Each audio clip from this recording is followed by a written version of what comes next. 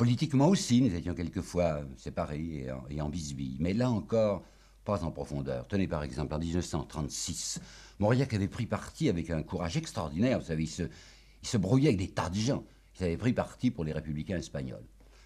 Il y a un souvenir qui m'est toujours resté. C'était dans un petit bistrot à Paris, dans un petit café. Mauriac m'avait donné rendez-vous, nous étions là, nous parlions de la, chute de Madrid qui était à peu près imminente. Et avec un visage que je ne lui connaissais pas, enfin assez, assez blanc, il m'a dit et si on y allait? Alors j'ai dit oui.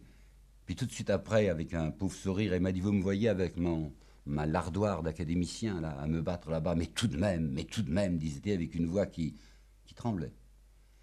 Puis en 40, il y a eu une attitude immédiate chez lui. Il a parfaitement compris ce qui se passait. Et Dieu sait si on lui en a voulu d'un certain côté, parce qu'il a dénudé la politique de ceux qui refusaient la résistance.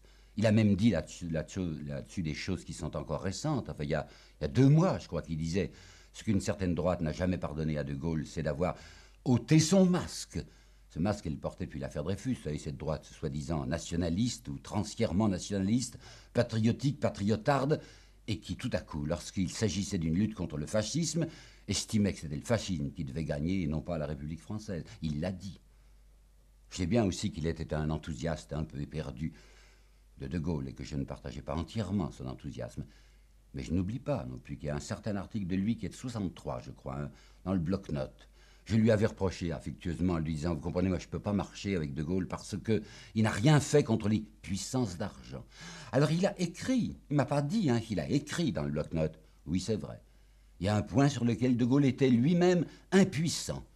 À savoir que nous tous, disait-il, nous tous, nous sommes la proie d'un certain nombre de mains, d'un petit nombre de mains qui représentent la domination de l'argent. Il a dit ça.